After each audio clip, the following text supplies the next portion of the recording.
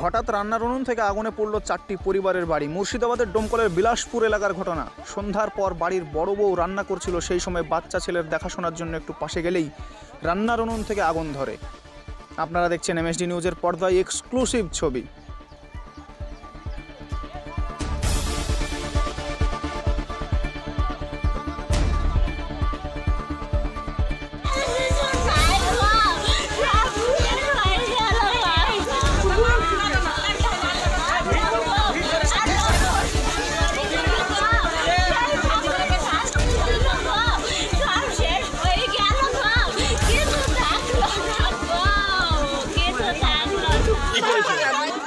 বিস্তারিত জেনে নেব আমাদের প্রতিনিধির কাছ থেকে। টেলিফোন লাইনে রয়েছেন আমাদের প্রতিনিধি সাইদ আনোয়ার। সাইদ কি জানছো? কীভাবে ঘটলো ঘটনা?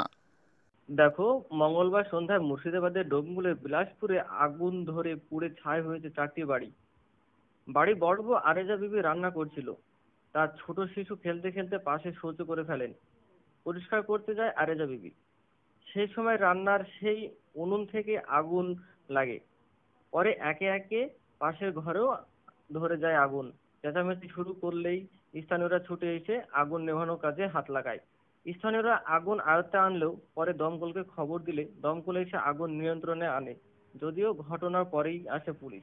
পুলিশও আগুন নেভানোর কাজে হাত লাগায়। তবে ক্ষতি বলতে সব পুড়ে শেষ।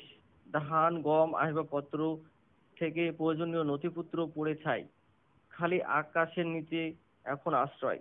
প্রশাসনিক সহযোগিতায় আর্জি পরিবার জুড়ে। ক্ষতিগ্রস্ত পরিবারের সদস্যরা কি বলছেন এবং তাদের দাবি কি? শুনুন। আগুন আমরা তিন বাপ চার বাবদ মসজিদে নামাজ পড়তে গেছিলাম মগরবের সময়। হ্যাঁ। আর ওরা মেয়ে ছেলেরা সবাই বাড়িতে ছিল বড় বউ আখা জ্বালিয়েছিল তো ছেলে হাইয়েছিল ওই আখাতে আগুন ছিল ছেলে হাইতে সোজাতে যে আগুনটা লেগে গেছে।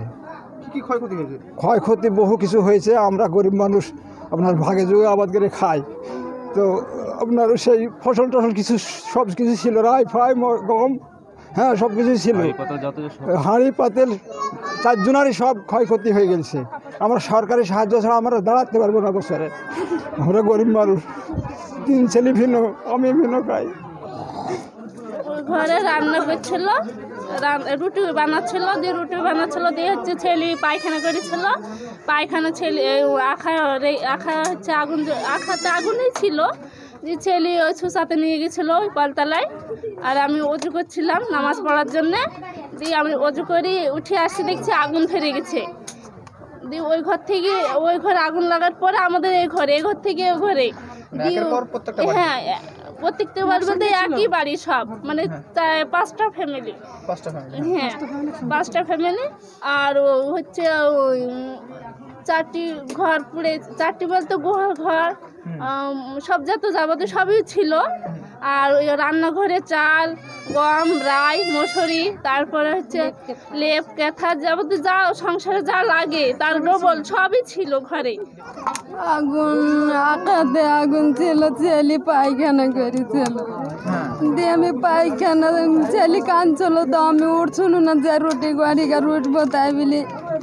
দিয়ে আমি ছেলে কেবলি কলতলায় বেরিয়েছি আঁকা লেবি তুই যাই।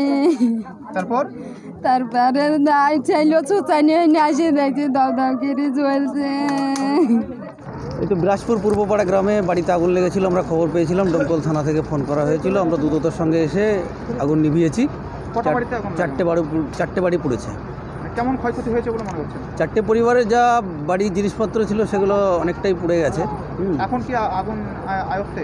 একদম পুরোপুরি কন্ট্রোল আমরা আচ্ছা। যাওয়ার পথে বাড়ি। হঠাৎ আওয়াজ।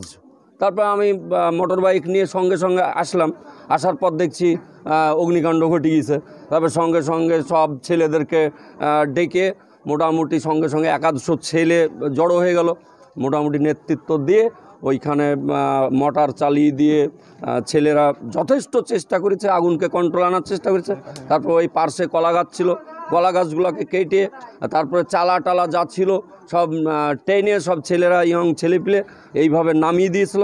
তারপরে দমকলকে আমরা খবর দিলাম। দমকল সঙ্গে সঙ্গে যা হোক মিনিট পনেরোর মধ্যে দমকলও চলে আসলো। যা হোক ক্ষয়ক্ষতি চারটে পরিবার। তো আমি বলতে চাই যে যেহেতু আমাদের মাননীয় মুখ্যমন্ত্রী খুব মানবিক দিক দিয়ে বিষয়টা মানুষ সমস্যায় পড়লে দেখেন, তো আমি ব্যক্তিগতভাবে আপনাদেরকেও বলব সেই মাননীয় মুখ্যমন্ত্রীর কাছে, গ্রামবাসীর পক্ষ থেকে আমি অনুরোধ করব, যাতে নিডি পরিবার যেহেতু সরকারের সাহায্য যেন ওরা পায়।